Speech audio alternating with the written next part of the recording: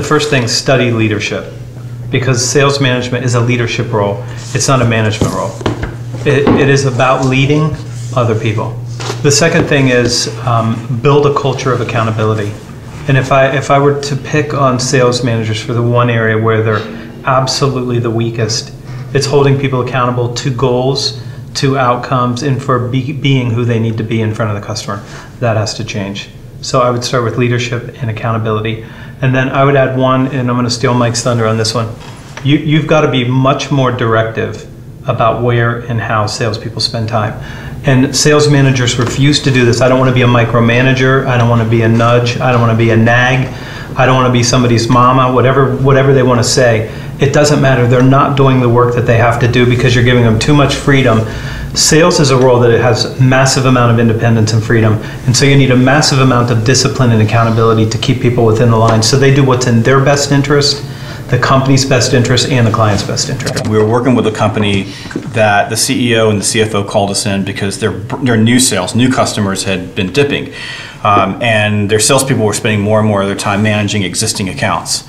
And we went in, spent a week with them, kind of got an understanding of what was going on, and we made one change. And we taught them a few things, but we shifted them from doing their call blocks whenever they wanted to for prospecting new customers to doing it first thing in the morning. So when they walk through the door, no email, no cat videos, prospect. And within about 15 days, they started selling more. Within 60 days, the, the numbers were going up significantly. We shook everybody's hand, so this is great, and we walked away. We get the same call three months later new sales have dipped again. Went back in and took a look at it, sat with the sales group and the sales manager, and the salespeople explained to us that prospecting in the afternoon was just better. They were talking to more people, it was working out for them, it was just better. And they had allowed the prospecting block to shift later and later and later in the day. And you and I know both what was happening. No prospecting was happening at all. And the sales manager gladly allowed that to happen because the sales manager was unwilling to be Teflon. This is my number one. You have to be Teflon if you're a sales manager. Teflon. You have to be able to say to your people with a smile on your face, it's eight o'clock in the morning, get on the phone. This is what we're gonna do. And you can you can watch cat videos all you want to, but not between eight o'clock and nine o'clock, because that's what we're doing. So number one is Teflon. Number two is, is a, as a sales leader, you have to be in the trenches with your salespeople, sitting side by side. I go to inside sales organizations where the sales leaders are there on the other side of the building watching a monitor. I walk into field sales organizations where the sales manager in the middle of the day is checking off expense reports.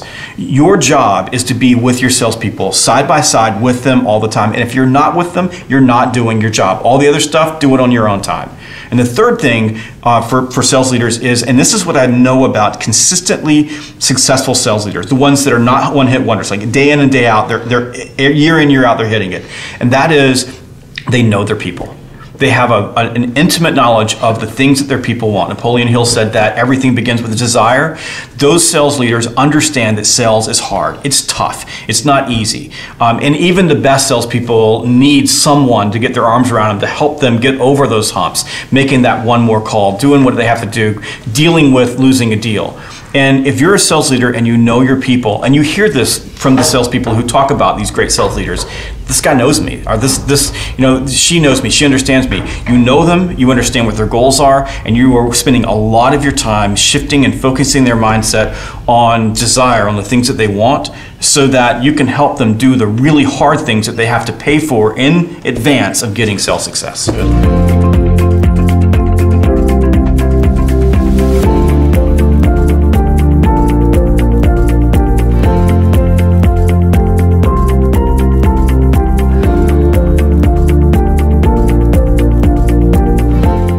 think one of the biggest tips we can give sales leaders is to stop with, and you use this phrase a couple times, a one size fits all.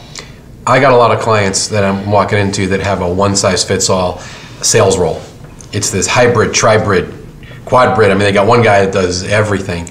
And there's a reality that some of us are wired like hunters and we like to go kill stuff and we're okay with conflict. And some of us are wired like zookeepers and we're really good at nurturing and loving and cleaning up after stuff. And I, I cannot tell you how many organizations that are staffed with 80% zookeepers and they think that those people are going to go hunting in their spare time. And it never happens because they're nurturers, they're not hunters. And at the same time, we have hunters, very few precious you know, a few number of hunters, and those people get tasked with doing all the admin, account maintenance. They go kill big game. They got to drag the thing back to the office. They got to butcher it, spice it, cook it, serve it, do the dishes, and they end up spending 20% of their time hunting instead of maybe 80% when there's all these other people that could do that other piece of the puzzle. So I think a, a harder look at sales roles would be really helpful. This other one I wanted to talk about is we, we, we start early with high value activities, or you call them RPA. Love that revenue producing activities.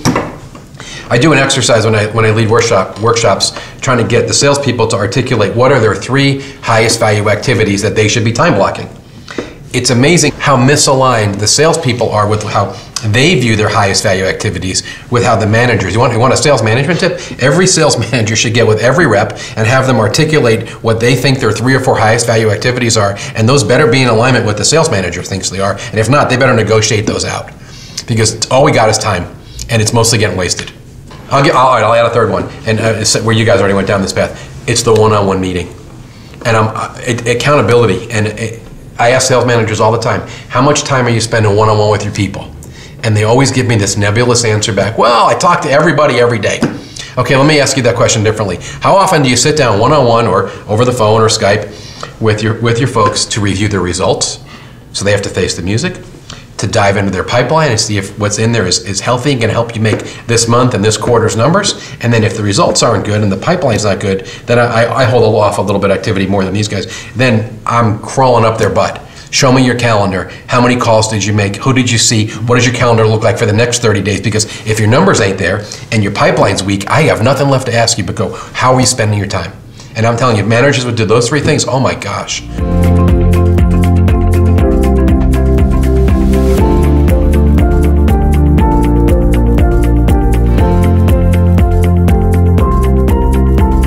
It's the sales culture. Culture starts at the top. Sales leaders are, sales managers are quick to blame everything else. No, culture starts at the top and it starts with you. And this is why these guys have heard me say this a lot, but sales is leadership, leadership is sales. If you want your salespeople to be seen as leaders out there, you have to be seen as a leader to your salespeople. And number two on that is really where are you spending your time? I see too many sales managers managing the bottom of the funnel. They're managing the close. My and these guys have picked up on it. It's managing the top of the funnel. Do I have a prospecting oriented organization? Am I at am I looking for the prospecting? When, when I ask sales managers, I love to ask sales managers, when do you go out on sales calls? And I love to hear this comment. I hate it, but I hear it. Well, I go out to close the deals. Why are you having to go out to close the deals? Your role as a sales leader is to go out there and open the deals because you can have conversations that your salespeople can't have. You can ask questions that your salespeople. You have to be so you've got to be sitting there asking your salespeople what how are challenging every aspect of the prospecting process. If we put the right items into the top of the funnel, we'll get the sales coming out at the bottom. But you know what that means? It means you have to be willing to do it yourself. And this means really demonstrating sales from a level of integrity, demonstrating sales from a level of leadership that says you understand them both professionally and personally. When I understand you personally, I can coach you professionally. When I understand you professionally, I'm going to be able to help you personally. Too many sales, oh no, we can't do, oh no, no, no, believe me, it's all in the same because sales, you wrote it in your book so eloquently Sales is an attitude game. It is an attitude. The accountant can have a bad attitude, the numbers are still going to come out the same. But it's amazing. Salesperson has bad attitude, it falls apart. So what does my whole job come down to? I want to create an environment for my people to succeed. Hmm. Measurement of success is not what I do.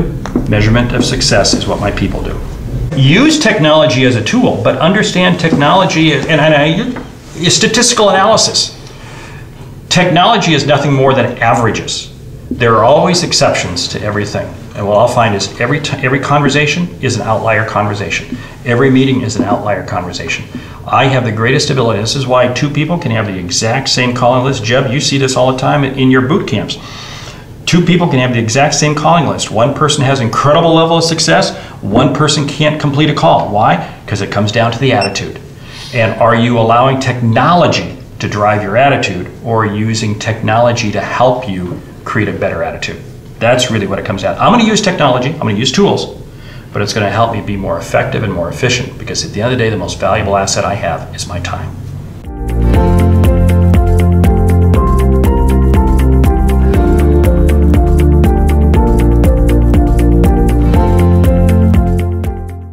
I'm gonna kiss you. Technology. I was going for it.